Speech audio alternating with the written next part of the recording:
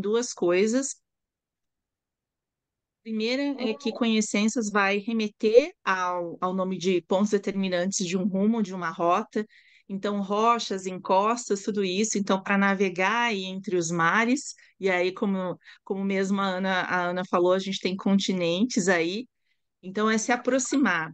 E mais que isso, também remete a uma professora e poeta, é, Edith Pinto Pimentel, que escreveu um livro, Sinais em Conhecências, em que ela é arte e divulgação científica para falar sobre língua portuguesa. Então, que também é uma coisa que nos une.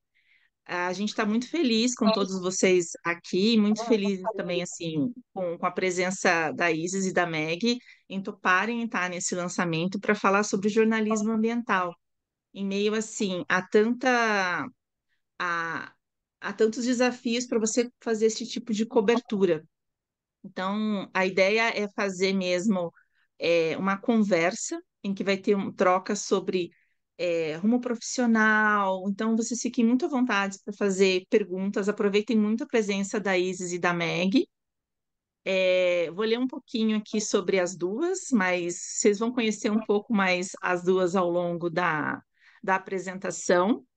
A Meg é jornalista, Meg Rodrigues ela é jornalista, ela tem foco em ciências da terra, política científica e mudanças climáticas, para imprensa especializada internacional. Ela é membro da Oxford Climate Journalism Network.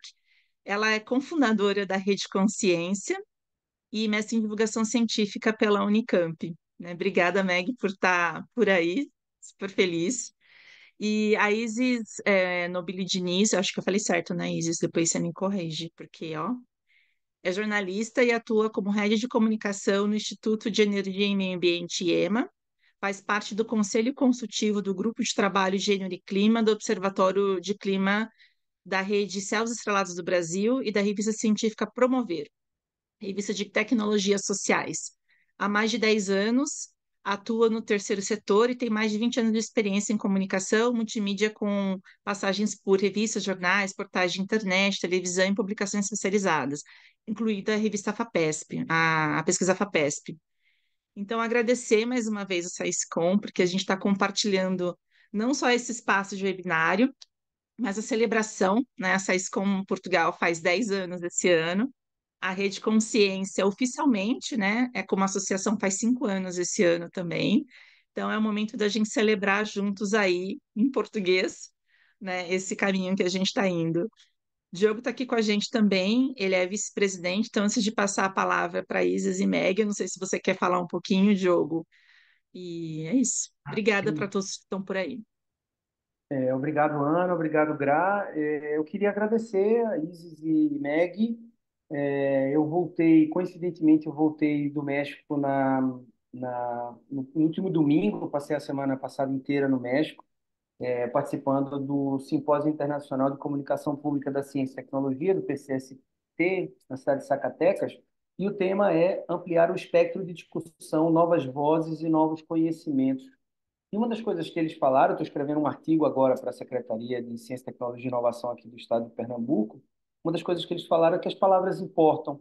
E a gente discutir comunicação pública da ciência, é, compartilhando experiências diferentes, por ter, mas ter, tendo a mesma língua, é, eu acho que a gente é, avança no nosso campo de pesquisa, né? Acho que a gente se entende muito bem, a gente amplia, a gente, eu, eu gostaria muito que além de Portugal e, e, e, Brasil, a gente tivesse Angola, a gente tivesse Moçambique, a gente tivesse os outros lugares, os outros países, as outras comunidades que falam português, é, para a gente avançar, para a gente demarcar o nosso território, para a gente entender o que a gente faz é, para a gente delimitar os nossos, os nossos campos de atuação e para a gente crescer em conjunto. Estou muito feliz com essa iniciativa, queria agradecer a Ana e a Gra é, por, por encampar essa ideia, é, e a Isis e Meg por, por darem o pontapé inicial. Eu acho que a gente é, é desses projetos que todo mundo ganha, né? não há ninguém que perca num projeto de compartilhamento de ideias, de, de,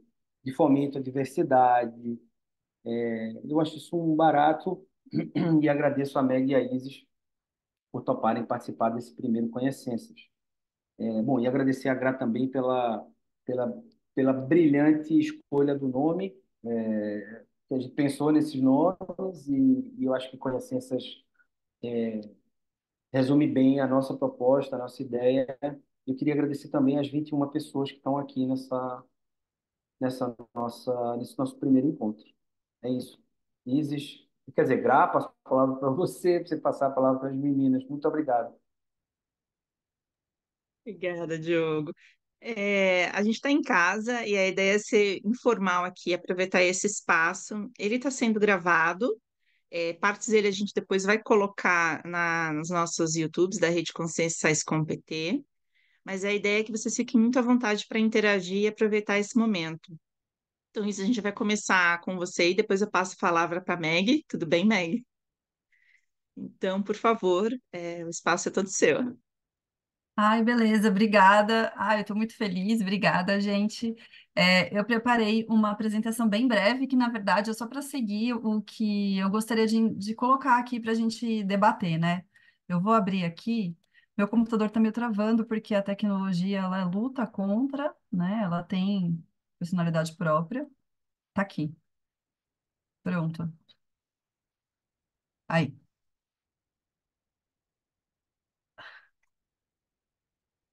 Bom, deu uma travada, vocês estão ouvindo? Só porque eu falei. É, então tá bom. É, calma aí que eu travei de novo, tô só melhorando aqui. Pronto. Então, aí. É, aqui eu, eu, eu ia explicar um pouquinho mais sobre quem eu sou. É, eu pensei em fazer jornalismo com a prepotência de mudar o mundo. E aí na faculdade mesmo eu vi que isso não era tão simples, que sozinho ninguém muda nada. É, e aí eu, então assim, depois disso eu já na faculdade me interessava por jornalismo científico, então eu já fiz jornalismo pensando em trabalhar na área. Eu falo que o bichinho da Eco 92 me picou quando eu estava na escola, então essa área de ciências da terra e meio ambiente também, é, sob o olhar da ciência, né, meio ambiente não, não no achismo, já era algo que tinha me tocado desde sempre. Então, eu já me especializei, me especializei em divulgação científica assim que eu me formei e trabalhei durante mais ou menos 20 anos né, na, na imprensa. E depois, quando eu estava até na pesquisa FAPESP, relatando né, um pouquinho sobre é, a ciência em si, fazer ciência, eu decidi que eu precisava estar do lado da ação. Eu sei que o jornalista também é uma ação, mas eu queria estar fazendo também. E aí eu fui para o terceiro setor. Então, eu estou no terceiro setor há mais de 10 anos, nessa área de, de comunicação. E eu sempre coloco que eu sou mulher e mãe, porque é um grande desafio na nossa sociedade é, ser mulher e ser mãe e trabalhar com, com toda essa carga que até outras pessoas impõem para a gente, né? Então, eu gosto sempre de ressaltar. Uh, peraí, aqui, vou mudar aqui. Aí, tá. É aqui eu trouxe alguns dados referentes ao Brasil para a gente discutir um pouco essa questão de clima mesmo, né? Uma pesquisa recente é, de 2022 feito com os brasileiros trouxe que 96% da população afirma que o aquecimento global está acontecendo, então as pessoas têm consciência disso. 77% atribui o problema à ação humana, então também tem consciência de, é, de que esse estágio que a gente está vivendo na Terra é causado diretamente por nós mesmos.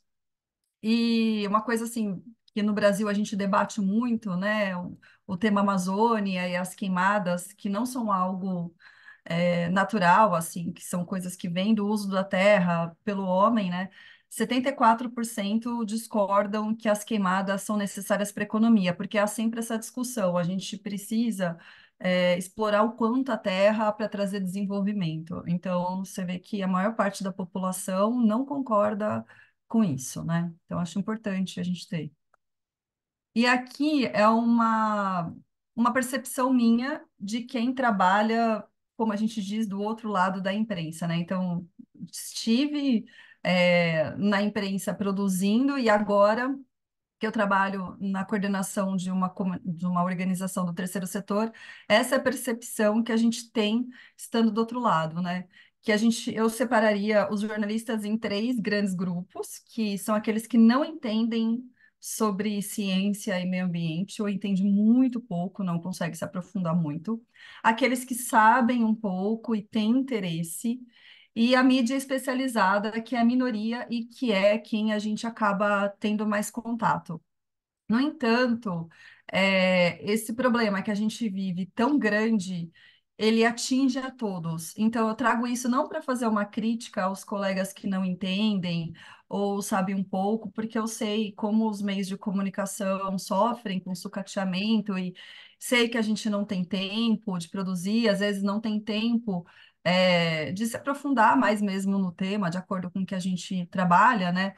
Mas é uma questão que a gente, acho, creio que temos que ver desde a formação do jornalista em si.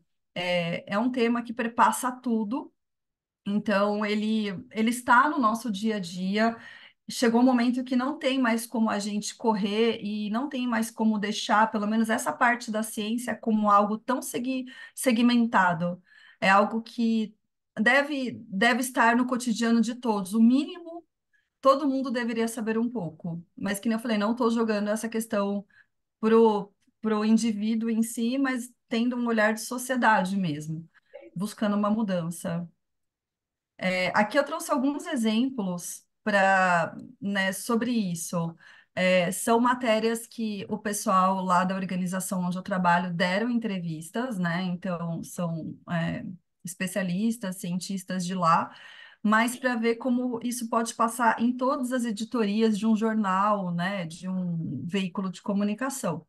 Então, no primeiro caso, é, uma área da Globo.com que cobre só futebol entrou em contato com a gente para falar sobre a questão da energia renovável do time europeu. É, e isso cada vez mais a gente vê mais frequente. Então, é um jornalista que ele é especializado em futebol, só que teve que abordar isso. E aí, se o jornalista ele não entende muito, ele fica muito na mão da fonte, né? Então, corre-se o risco até de falar alguma coisa que não é tão cientificamente correta. Nesse caso, modéstia à parte, a matéria ficou muito boa. Mas, assim, é, eu achei um caso interessante. Outro foi sobre qualidade do ar, poluição do ar. Então, é algo que a gente vive em todo o planeta. A OMS, ela atribui muitas, eu não lembro agora o número exato de mortes à poluição do ar. Então, é algo do nosso dia a dia, que é perceptível à população, porque a gente tem rinite, coça o nariz, você não consegue ver as estrelas você nota, né? Você consegue ver ali uma cinza, um negócio marrom no céu. E também aqui foi uma editoria de cotidiano que abordou essa questão. E aí eles estavam um pouco mais familiarizados com o tema.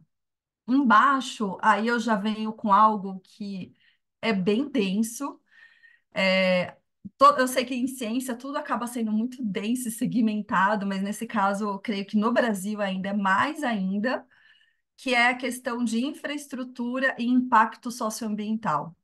E aí, essa foi uma matéria feita pela Agência Brasil, então, para ver que uma agência que aborda diversos temas também tem essa responsabilidade de abordar. E aí foi sobre referente a uma nota técnica que a gente escreveu é, a gente fez uma análise lá no IEMA é, do, de como é feito, como a infraestrutura é realizada na Europa, por exemplo, e nos Estados Unidos, quais são os parâmetros socioambientais já empregados, utilizados. A gente acaba tendo esse olhar ocidental, porque o Brasil ainda tem essa questão muito ocidentalizada, embora a gente pode entrar na questão dos povos originários, mas, assim, é, acho que é o que a gente sente mais familiaridade, mais perto, né? E que a gente se espelha muito. Então, a, aí, essa, só para trazer mais um exemplo da imprensa, de como essas questões é, ambientais e científicas estão em todos os lados, assim, não tem como escapar. E aí, uma, é, uma crítica que eu faço até para as pessoas, para os especialistas, né? Para os órgãos que atuam na área ambiental. É, ela é repleta de números, siglas, jargões, leis. É sempre um aprendizado, a gente nunca para de aprender, é sem parar, assim, é uma lei nova que está para ser aprovada, é, o pessoal da ONU que que faz uma sigla nova porque agora é phase out, são palavras em inglês, são diversos jargões que aí você tem que entender e dominar, e é difícil, confunde. Então, eu acho que isso espanta um pouco tanto a população quanto os jornalistas que não são especializados da discussão.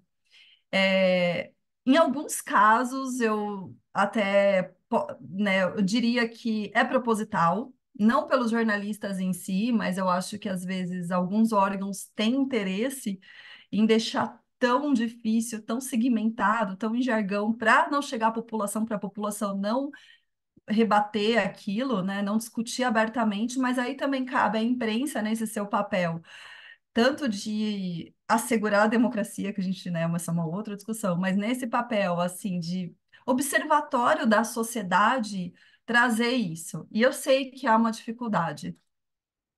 E aí, aqui eu trouxe três temas que eu creio que tem que estar na mente de todo jornalista que hoje em dia cobre meio ambiente. Também sempre generalizando, eu estou, podemos, né? É, perdoe as generalizações. Mas, assim, algo que é difícil a gente falar sobre clima sem falar sobre justiça climática, que é quem são os povos, quem são as pessoas que mais serão afetadas, é, pela, que já estão sendo mais afetadas pelos eventos extremos causados pelo aquecimento global. Então, quando a gente faz uma matéria sobre isso, a gente tem que ter esse olhar, né? A gente não pode ignorar, a gente não pode deixar de falar com essas pessoas, tem que ter esse olhar de, né, de quem quem que está realmente sofrendo com aquilo.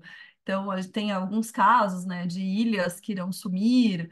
E eu achei curioso que teve um presidente que fez uma reunião no mar, né, para provar, para mostrar, olha, ali um apelo de do que, que eles estão sofrendo ou vão sofrer mais ainda. Outra questão que também é, a gente tem que estar tá dentro da pauta, ainda mais agora que a gente quer deixar de usar o petróleo é, como geração de energia e usar outros meios é a questão da transição energética justa. Então, no Brasil, por exemplo, a gente já vê bastante matéria é, debatendo a questão dos parques eólicos, onde eles são instalados, sem respeito às comunidades locais com aquelas usinas que não param de girar e com barulho enlouquecedor, as pessoas estão tomando mais remédios. Então, assim, é, a transição energética, toda vez que a gente fala sobre transição energética, a gente também tem que ter esse olhar sobre justiça. Depois eu vou dar uns, uns dois exemplos mais claros. E outra questão que também, ainda mais com a próxima COP, né, encontro da ONU de mudanças climáticas, sendo não a essa, mas a outra, é, aqui no Brasil, em Belém, na Amazônia, a gente tem que discutir também é, como que estão. Então, assim, nem, nem apenas, não apenas falando da Amazônia brasileira, mas de toda a Amazônia. São pessoas que estão marginalizadas dos seus direitos, é, mas que sofrem a, as influências do seu território, né? Então, essa é uma questão também que a gente vai propor até para debater mais, ainda mais tendo esse olhar então, por exemplo, um milhão de pessoas está sem energia elétrica na Amazônia. Na hora que a gente fala de colocar uma Belo Monte lá, que não leva energia, inclusive, para essas pessoas, que, inclusive, alguns indígenas nem querem esse tipo de energia por não compactuarem em como ela foi instalada, né? Como que foi feito, de que modo. Então, essa questão também a gente tem que ter ainda mais nesses ambientes de florestas tropicais que ainda estão preservados e a gente sabe que eles são importantes para a biodiversidade e, enfim, por diversas questões, até planetárias. Eu acho que tudo que, que a gente pode discutir aqui, a gente pode colocar numa escala global, na verdade, né? É, e aí, esse é um cuidado que eu creio que os jornalistas devem ter independente da pressa, que é a quem serve a tecnologia, o tema e o viés. Então, na hora de propor uma pauta, na hora que chega uma pauta, um furo, sempre tentar ter esse olhar. Quem que pode se beneficiar disso? Ainda mais na questão ambiental, que é tão delicada, né? E da ciência também, a gente tem vários problemas é, das, de outras áreas da ciência. Então, aqui eu trouxe dois exemplos que nem eu falei, né, que são pegadinhas. Então, por exemplo, a questão dos veículos, veículos elétricos. Aí, falando sobre uma visão do Brasil. É, a gente tem nossa base de geração de energia, ela é realmente mais limpa, né? Então, ela é muito hidrelétrica, está crescendo solar e eólica, entrou bastante termoelétrica também. É, aí você fala assim, legal, os veículos elétricos serão abastecidos com essa energia. Só que se você se discute muito, por exemplo, dar subsídios. Então, vamos fazer, dar um exemplo. Ah, vou fazer uma matéria sobre veículos elétricos com relação aos subsídios. É, vale a pena você dar subsídio a carros que serão para pessoas particulares? Porque a questão do trânsito nas cidades não vai melhorar, a questão do acesso às cidades não melhora. Então, as pessoas que vivem na periferia, tipo de uma cidade tão imensa quanto São Paulo, que é uma das maiores do mundo, por exemplo, elas continuarão sendo impactadas, elas não terão uma melhoria na qualidade de vida. De repente, a discussão é por é, veículos elétricos que atendam a comunidade, então, ônibus elétricos eles sim, de repente, merecem ter subsídios. Então, é isso que a gente tem que tomar cuidado, né? Outra coisa é, é algumas, alguns setores acabam se apropriando de alguns termos, jargões, e usando a seu favor, como a questão da transição energética. No Brasil, atualmente, a gente tem uma discussão sobre o gás natural, que é um gás que a gente retira, às vezes sai junto lá no poço do, de petróleo tal, ele pode ser usado como uma transição para deixar o uso do petróleo, só que ele gera também gases de efeito estufa. Então, a gente, eu, eu e Isis entendo que não, mas é, é, essa é uma discussão, e aí a gente tem que falar assim, tá, a transição energética não seria isso, né? Seria solar, seria eólica de uma maneira adequada, hidrogênio, de repente, de uma maneira adequada. Então, essa é outra questão que a gente tem que tomar cuidado na hora que a gente começa a abordar e ouvir os dois lados, só que, porém, com esse questionamento, assim, com essa crítica. E aqui, é, outra coisa que, principalmente quando eu trabalhava assim, em grandes veículos, eu procurava fazer por conta própria. Eu sei que agora estão, isso está mudando, né? Algumas redações estão colocando já algumas boas práticas, é, com relação à diversidade de fontes. Que nem eu falei, assim, não é uma coisa diretamente sobre o tema, só que isso impacta também o resultado da matéria, né? O resultado do seu trabalho, porque são outros olhares, teoricamente, de minorias, que na verdade são maiorias, mas são pessoas que sofrem diretamente, geralmente, o problema. Quando, por exemplo, teve um, um, desmoronamento de terra lá nas serras do Rio de Janeiro, a maior parte das pessoas afetadas foi mulheres, idosos e crianças. Então, eu acho que a gente tem que se atentar na hora de fazer as matérias, procurar especialistas que estão neste grupo e fontes também desse grupo. Sair um pouquinho daquela questão de sempre ouvir um homem branco de mais idade que entende muito sobre o tema. E esse infográfico aqui é, eu retirei do site do Observatório do Clima. É, ele traz um pouquinho como as mulheres com, acabam mudando é, alguns casos é, relacionados ao meio ambiente. E ali ele tem até acesso, acho que aos artigos científicos para para pautar isso. Ele está sendo refeito, é um estudo bem grande que vai ser lançado bem bacana. Então é isso, né? Essa breve, esses breves pontos que eu queria trazer. E aí eu trouxe essa fala do Ailton Krenak, que é o primeiro indígena na Academia Brasileira de Letras, que agora foi condecorado. E eu, é, eu acho lindo o, modo que os indígenas eles veem a, o nosso modo de viver. Eles, eles entendem a gente como parte da natureza, não a gente aqui e a natureza ali. Então, eu acho que esse olhar de respeito, de todos somos uma coisa só, que tem que funcionar bem, em harmonia, é uma coisa que me agrada muito e é como eu tento tocar tudo na minha vida. Acho que é isso. Obrigada, Isis. Muito obrigada aí pela, pela sua fala. Ó, vou fazer um trem, vou aproveitar a Meg e a fala dela e depois a gente concentra as perguntas depois, tudo bem, gente? Então, Meg, com você.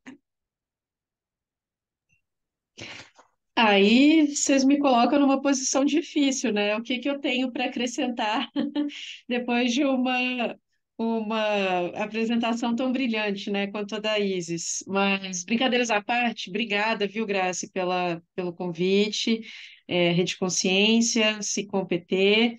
É, e eu só, eu só gostaria de complementar é, um, um dos pontos, né, que a Isis levantou, de que o jornalismo de ciência e o jornalismo de meio ambiente são muito mais do que só editorias, né? Na, no site de um jornal, é, enfim, ou nas últimas páginas, né? Que normalmente, é, quando a gente ainda lia, né? Impresso, quando ainda existia isso, ciência, saúde, meio ambiente sempre vinha lá para o final, né? Para as páginas finais, né? Do, do, do, enfim, de algum caderno, assim, é, enfim, segundo caderno, né? Uh, e porque hoje em dia, quer dizer, é, os colegas que estão aqui, né, que minimamente todo mundo tem interesse, né, no assunto, e pelo que a gente acompanha, né, gente, da, da imprensa e da, do noticiário sobre clima, principalmente, a gente, né, vocês devem estar cansados aí de ouvir falar sobre os relatórios do IPCC, as projeções que nós temos e de como que os países se comprometeram a fazer ações, né, a tomar iniciativas para diminuir o consumo de energia e para diminuir a emissão de gases de efeito estufa, e na verdade ninguém está fazendo nada, né? Assim, a gente. É, e aí, a cada década que se passa, o, o pessoal vai, vai deixando mais para frente, né? Então, em 2015 se falava de 2030, aí agora a gente está quase chegando em 2030, já estamos falando em 2050. Quer dizer, e, e vai se adiando, né, indefinidamente ações que são extremamente necessárias, não para preservar o meio ambiente. Eu sempre gosto de dizer isso, não é o futuro da Terra que está em risco, não é, não é isso que está em jogo, é a existência da humanidade, é se a gente quer, como espécie, continuar por muito mais tempo aqui nesse habitat ou não, né?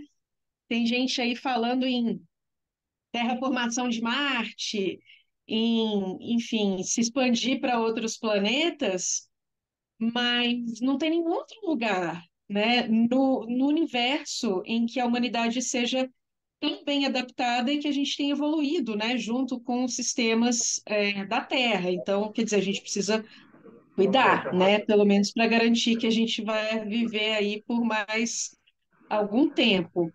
É, então, voltando ao meu ponto, né, que isso não é uma editoria, né, meio ambiente, não, não adianta a gente falar de meio ambiente ou economia, ou meio ambiente e economia, Meio ambiente faz parte da economia.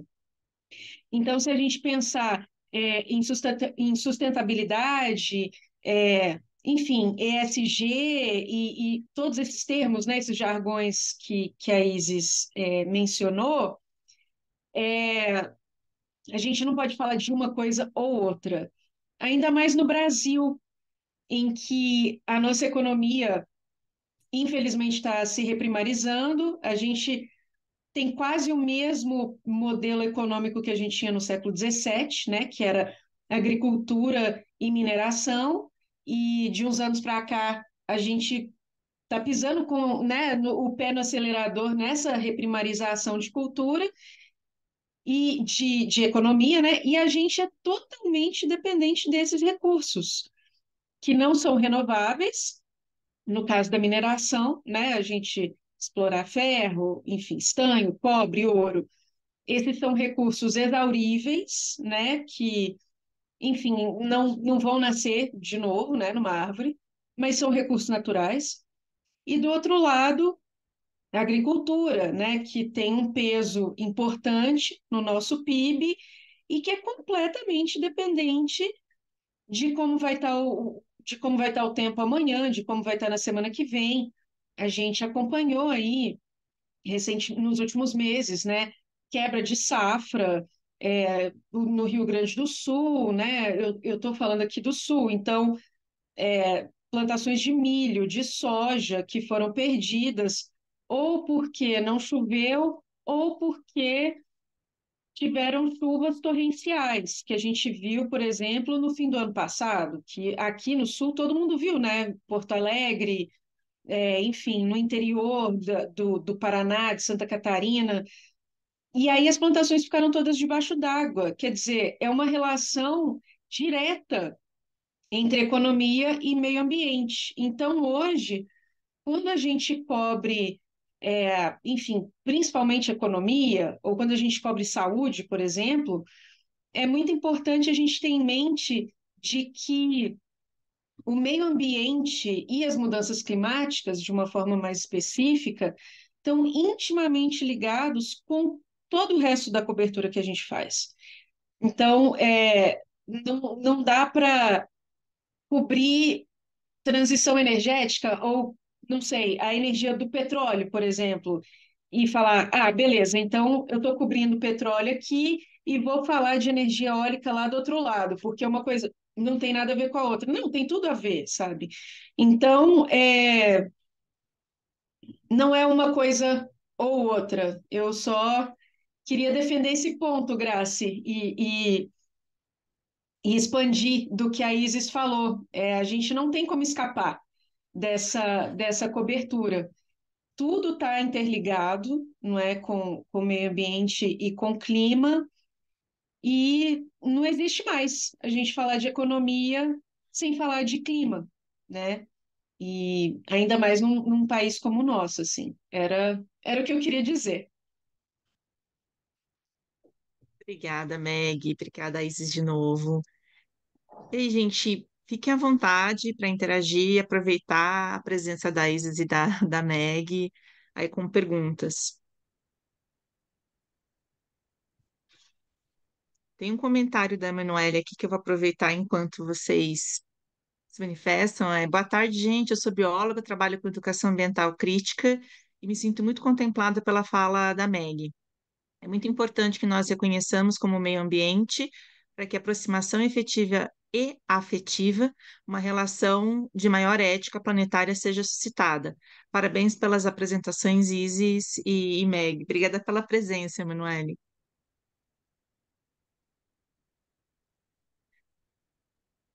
Posso colocar a primeira questão, Graciela? Acho que Claro. pode ser tanto para a Isis como para a Maggie. Estamos aqui numa, numa reunião entre pessoas que se interessam pela comunicação de ciência em Portugal e no Brasil. Como é que aqui hoje ou em eventos futuros, em conjunto, nós podemos fazer algo que dê um bocadinho de resposta a estas questões que, que levantaram aqui hoje? Como é que nós, como comunicadores, como comunicadoras, como jornalistas, podemos ter um papel mais ativo ou cada vez mais ativo para podermos em conjunto fazer um bocadinho mais a diferença? O- Qual é a vossa opinião sobre isto?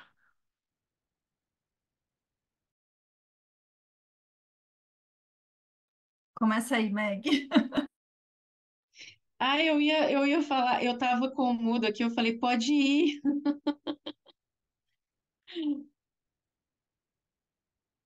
Tá, mas então tá. É, é, na minha, né, da minha vivência e na minha opinião, acho que, primeiro, a gente não pode ficar cobrindo coisas que se, que se, ah, enfim, que se encontram, né, como se fossem editorias separadas.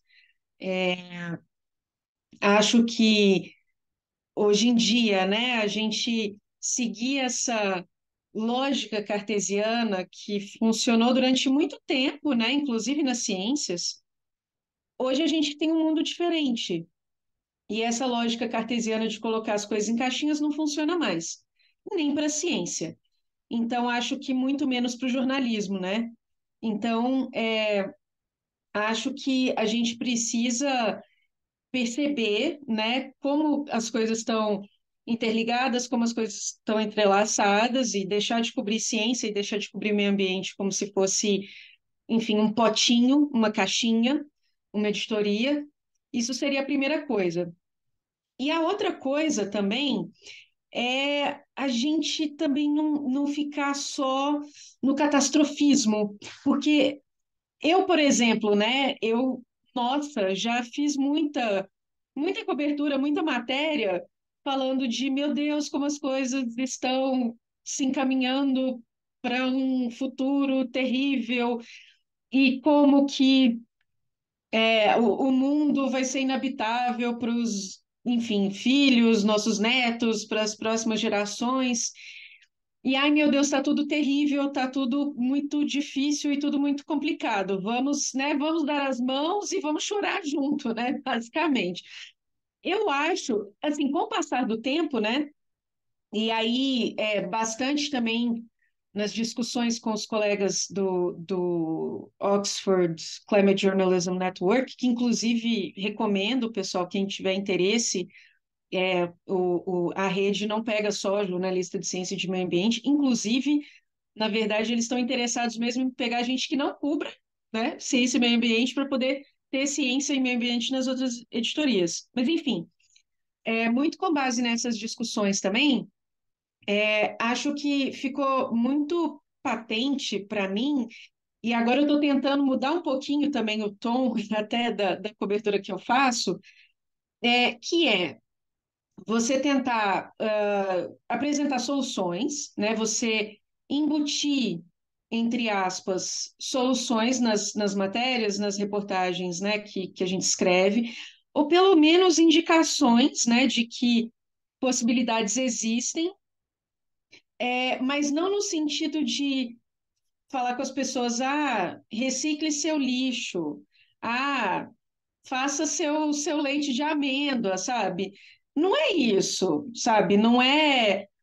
Quer dizer, não sou eu parando de viajar de avião, sabe, uma vez por ano para tirar férias, sei lá, no Nordeste ou em qualquer outro lugar, não é isso que vai. Claro que somado isso tem um peso imenso. Mas assim, é, meu ponto é que na nossa cobertura talvez a gente precise empoderar mais as pessoas politicamente, para pensar e agir politicamente. Porque quem vai ter, quem manda, né, quem dá as cartas realmente são os governos e as empresas, mas principalmente os governos que precisam regular as empresas para que as coisas não continuem do jeito que elas estão. Então, é, não é colocando peso sobre o indivíduo, porque isso também acho que está todo mundo cansado, né, de falar, poxa, tem microplástico até em placenta de mulher grávida, mas sou eu que tenho que reciclar. Não, não é você que tem que reciclar, não é você que tem que parar de andar de avião. Quem tem que parar de andar de jatinho é a Taylor Swift, é o Elon Musk, é, enfim, sei lá, sabe, esses bilionários, esse 1% que são cooptados pelos governos. Então, eu acho que a gente também é, do mesmo jeito que não dá para separar meio ambiente de economia, também não dá para separar meio ambiente de política. E talvez a gente precise falar um pouco mais disso, sabe? E, e colocar é, essas conexões, essas correlações que existem, porque a solução é coletiva. E, e, o capital, né? Eu falando assim, até pareço, né, uma pessoa super comunista e tal, mas assim, as, as grandes empresas, né, quem manda no dinheiro do mundo, quer que as pessoas pensem que isso, né, que a solução para esse problema é individual. E não é. É governamental, principalmente governamental e coletiva. E a gente, como cidadão, como jornalistas, né, principalmente, mas como cidadãos conscientes, a gente precisa colocar essa pressão em cima dos governos. E aí tem toda uma outra discussão, né, sobre, enfim, as dificuldades, né, a dificuldade que é de fazer isso nesse ambiente que a gente está hoje, é, mas eu acho que passa por aí. Eu acho que, que realmente passa por aí. Como jornalista, a gente pode fazer, assim, muita coisa, eu acho. É, eu queria só trazer um negócio, eu concordo com tudo que a Meg falou. Rapidinho, desculpa, Diogo. É, eu acho que a gente pode aproveitar também fazer um intercâmbio entre países de mesma língua então, tentar, na hora que a gente for ouvir, ouvir os outros, é, né, que, que tem a dizer, que estão sofrendo também, especialistas, a gente tem essa possibilidade. E uma coisa que cabe, que aí eu sei que é uma coisa de editoria, nem todos os jornalistas têm esse poder, mas o, o jornal deixa claro o viés dele. Eu acho que hoje em dia a gente sofre Aí eu diria que é um problema mundial, uma descredibilidade da imprensa muito por conta disso. Eu acho que, assim, a gente pode debater essa questão, veio de várias maneiras, mas essa é uma, né? E eu concordo com a Meg, é isso, é o papel de a, a quem serve. É, então, é, é isso, só que eu queria complementar. A gente tem uma, uma série de perguntas, eu já vou também te passar de jogo a palavra, mas eu vou combinar algumas delas, tá? Vocês falaram muito de, de política e tal, essencial essa, essa relação. Tem uma pergunta aqui do da Ma- Maximiliana, que fala dessa relação, pergunta qual é o papel dos comunicadores e jornalismos na ciência. Eu acho que vocês responderam um pouco mais isso. E só para comentar um pouquinho, aproveitando a fala de vocês, a Critiane coloca assim: como é que vocês avaliam o papel das instituições públicas de ciência, saúde e meio ambiente nessa correlação de força com o governo e empresa privada?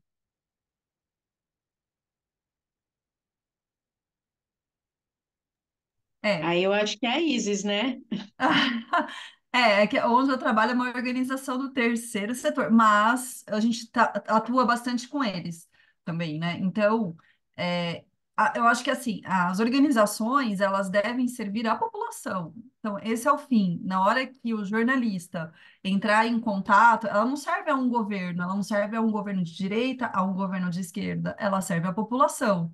Então, a gente tem que ter isso em mente na hora que a gente entra em contato com, com, esse, com, esse, com essas fontes. E tem outra, também a- a- cabe a gente entender que são fontes, geralmente, técnicas de alta capacidade, né? Então, são pessoas que têm conhecimento, que querem mudar. Isso eu tô falando assim por experiência própria. Lógico que tem de tudo, em todos os lugares tem de tudo, mas assim, é, são pessoas que querem fazer alguma coisa. É um jeito de fazer essa pressão que a Maggie falou. Entender que também aí cabe ao jornalista que não jogar para a pessoa um problema tão grande. A gente já entendeu que se você joga na culpa das pessoas, né? Ah, o problema, ah, mudanças climáticas é culpa sua, que foi viajar para o Rio de Janeiro de avião e emitiu sei lá quanto. Não, não é verdade.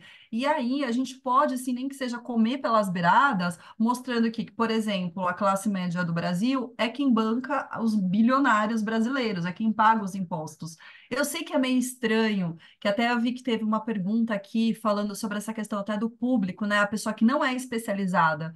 É, algumas pesquisas científicas, assim, na área de linguagem, elas indicam que um modo de você atingir alguma mudança que você quer é, primeiro, você fala para os convertidos e depois fala para essas pessoas que estão ali, que são pessoas que por algum momento vão, vão topar com aquela sua matéria, com aquele seu interesse. Pessoas que têm interesse em saúde. Pô, não quero ter rinite. Ah, o que que eu preciso para não ter rinite? Eu preciso fazer força para aprovar uma lei?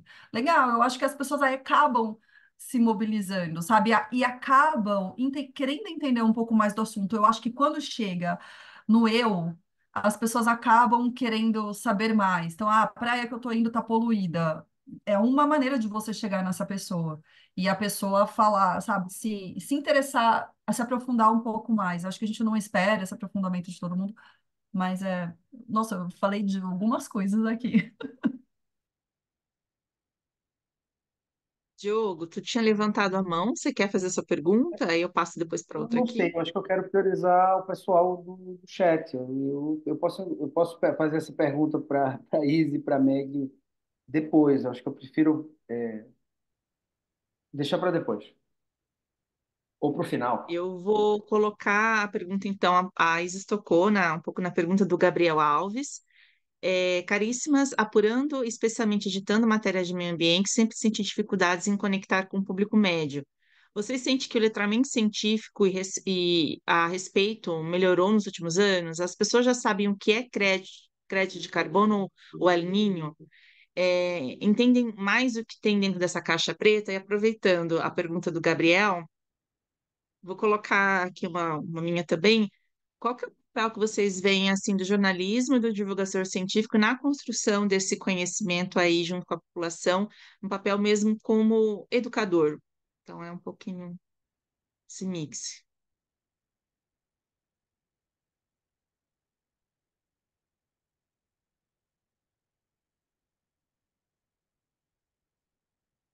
Não, eu vou falar muito brevemente, senão eu falo muito, Meg. Eu gosto de falar. É, eu, eu, eu debato muito sobre isso. E eu fui fazer, fazer divulgação científica, eu acho que nessa ideia de é, puxa, vou fazer a minha parte do jeito que dá.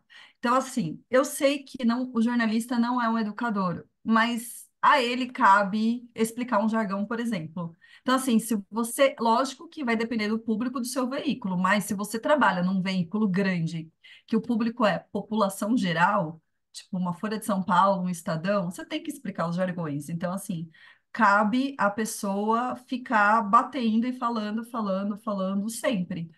Acho que sim, tem um papel, tá todo mundo na sociedade, sim. A gente quer uma melhora, todo mundo tem o, o que deve fazer para melhorar. Vai ter uma mudança efetiva? Não sei. Mas, assim, eu creio que há um caminho também. Mesmo porque a gente precisa mudar a educação, só que a gente vai esperar melhorar a educação. E, às vezes, tem lugares que a educação é incrível e as pessoas não conseguem correlacionar, então, o desmatamento, que nem a Meg falou, a piora nas mudanças climáticas. Não consegue. Então, eu acho que a gente tem que ajudar, sim, a fazer essas ligações. Mas é uma coisa, assim, minha, eu sou uma ativista, praticamente.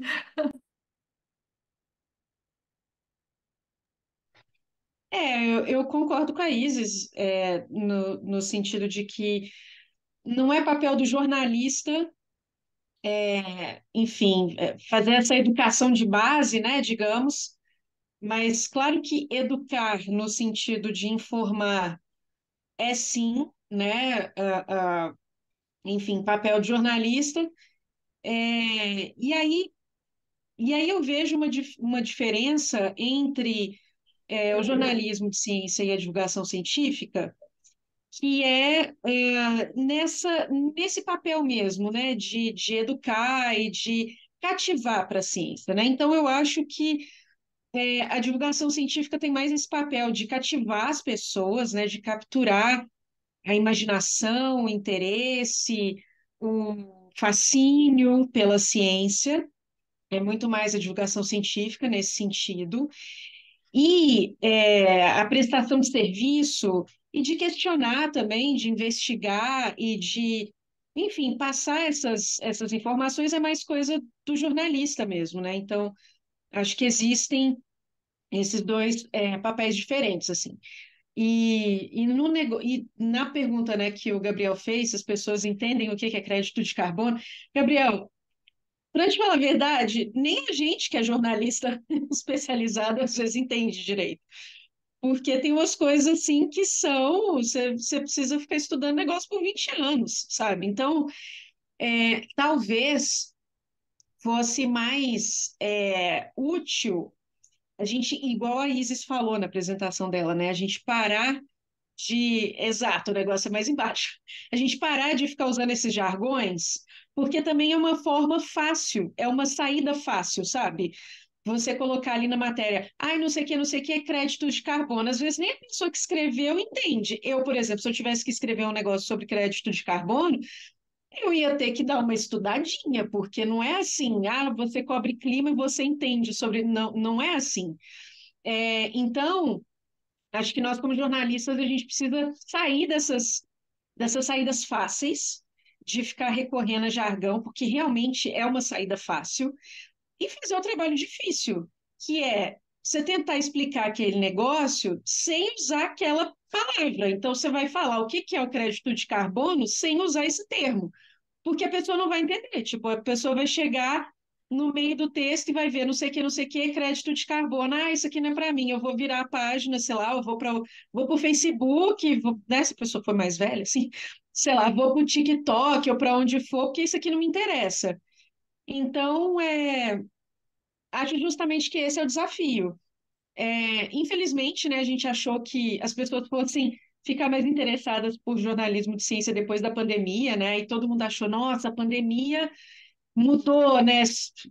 Fixou um paradigma no jornalismo científico. Infelizmente, não sei se a Isis concorda comigo, mas acho que, assim, o conhecimento e talvez, talvez as pessoas saibam um pouquinho, né, o que que é uma coisa, o que que é outra, ou talvez diferenciar um. Mentira, vírus de bactéria não, porque tem gente que toma antibiótico para virose. Então, é, é difícil, é difícil, mas eu acho que um caminho é a gente fazer o trabalho difícil de, de, de sair do jargão e, e tentar explicar o negócio que é, sabe? A gente está chegando para o final do nosso encontro, mas eu queria aproveitar uma pergunta da Gabriela Brandão, né? Uma última pergunta. É, ela fala sobre, um pouco sobre a pesquisa dela, que relaciona divulgação científica e percepção pública na ciência, e ela, que ela tem desenvolvido no, no Complexo da Maré. E ela falou que a, a, essa relação, né, de comunicação comunitária faz, fez toda a diferença para que o projeto dela andasse em interação com a comunidade. É, como é que vocês veem essa forma de troca de experiência nas formas de comunicar, né? Para o jornalismo, a interação do jornalista com o divulgador científico, existe, não existe? Como é que vocês veem também isso e também com as pessoas, outras pessoas que não esses dois atores aí? Isis. É, é, assim, eu, eu acho que cabe ao divulgador científico ou ao pesquisador, enfim, a pessoa. Até, acho que a gente tem que. Aí é que eu digo, ampliar o olhar e entender até os conhecimentos locais como uma forma de ciência também, né? Então, a pessoa detentora do conhecimento, seja ela quem for, é, entender que foi aquilo que a Meg falou. A, o jornalista, ele, ele é crítico, né? Então, é, é, ele tem que, assim, acho que fornecer todo o subsídio, né? Então, assim, cabe ao divulgador de ciência nesse papel de um pouco de educador mesmo e complementar ao outro. Eu creio que é muito rico. Eu, as experiências que eu, eu e Isis tenho, as mais ricas são quando a gente se encontra com grupos diversos, grupos que sofrem um problema, tipo a questão da maré, que tem seu, seus problemas super característicos que outras pessoas em outros lugares do planeta sofrem também. Então, assim, eles têm esse lugar de eu estou passando por isso e é muito rico. Então, é, eu sei que pode parecer até um pouco, não sei, assim, é, inocente é, essa fala, assim, mas realmente é quando eu acredito que o, há um encontro de mudança efetiva, porque até a gente aprende a comunicar para as pessoas que a gente fala como que eu vou chegar nelas, e eles também a, começam a entender né, como chegar também desse, nesse outro lado, assim. E é, é a mudança que a gente quer ver, né? Então. É, não sei se eu respondi muito assim, porque eu, eu fiquei visualizando, inclusive, algumas reuniões que eu estive. Vou dar um exemplo. A gente foi é, para Santarém discutir uma infraestrutura que serve a grandes empresas, a exportações de produtos agrários é, a gente foi discutir com as comunidades locais. Eles tinham as, as, mesmas sensações que a gente, o mesmo conhecimento, com a diferença que o nosso conhecimento era tinha um método científico ali, né? Então a gente trazia alguns números que eles não tinham. E ali junto a gente conseguiu pensar formas, e eles falaram: poxa, a gente não tem uma escola decente aqui, a gente não tem acesso à saúde, a gente não tem acesso à energia. Como assim está passando uma estrada na minha vida, né? Na minha comunidade e eu não tenho acesso à energia. Então, assim, traz, eu acho que traz essa força até para as mudanças da, da, de política pública que a Meg colocou, né? Então, assim, nossa, não sei se eu respondi. Acho que eu sou melhor, pergu sou melhor perguntando do que falando, respondendo. Eu concordo com a Isis. Acho que soma, né? É, enfim, es, essas reuniões entre grupos diferentes, assim, acho que vem para somar e tudo que a gente puder, é, enfim, trocar de, de experiência, de perspectiva e de, é, uh, enfim, de, de noção, né, de, de como fazer as coisas é muito válido, assim, muito rico. Obrigada. Muito obrigada a vocês todos por estarem aqui hoje. Eu vou chamar a Ana de novo para falar um pouco do, do Science Co PT, porque tem um evento que acontece no mês que vem. Eu, eu queria saber um pouquinho mais, é, falar um pouco para vocês. Aproveitando para dizer que assim que vocês entram aqui no sistema, já é registrada a presença de vocês. A gente deixou um formulário aí de avaliação desse primeiro encontro e espaço para sugestões para os próximos, porque a gente quer aproveitar e fazer desse espaço Conhecências algo construído em conjunto. Então, deixa suas sugestões para os próximos encontros, que vai ser ótimo, Ana, com você. Obrigada, viu, gente?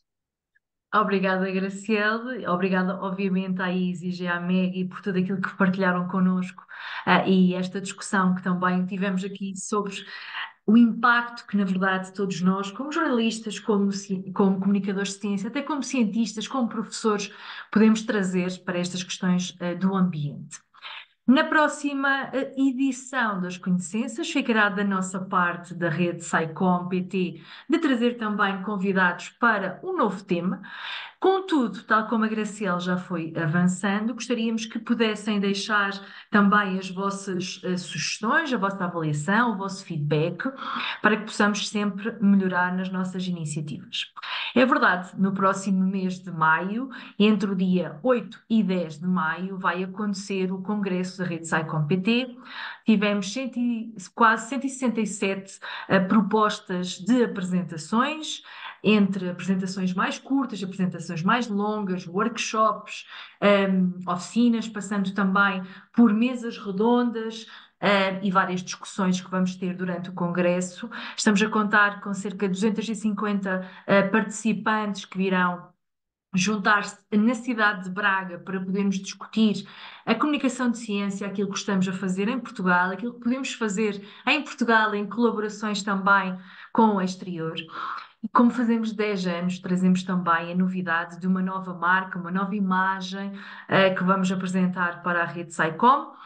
Por isso, quem estiver por aqui, uh, por uh, Portugal, e se puder juntar a nós, é um gosto uh, que, o possam, que o possam fazer e é sempre uma boa forma de podermos discutir e melhorar não só o papel que a comunicação de ciência tem na nossa sociedade, mas também as nossas iniciativas e o envolvimento em novos projetos. Era um bocadinho isto que queria também uh, partilhar eh, convosco, agradecer mais uma vez a participação de todos e de todas e espero que deixem também as vossas sugestões e que estejam cá para a próxima edição uh, de Conhecências. Obrigada a todos e a todas. Obrigada, Obrigada gente. Até uma próxima, viu? Obrigado, Obrigada, pessoal. pessoal. Um bom dia para Obrigada. vocês, que ainda estão um bocadinho mais atrasados do que nós. Nós já vamos um bocadinho mais adiantados aqui na hora. Obrigada, gente. Beijo, uma boa ótimo. tarde. Obrigada.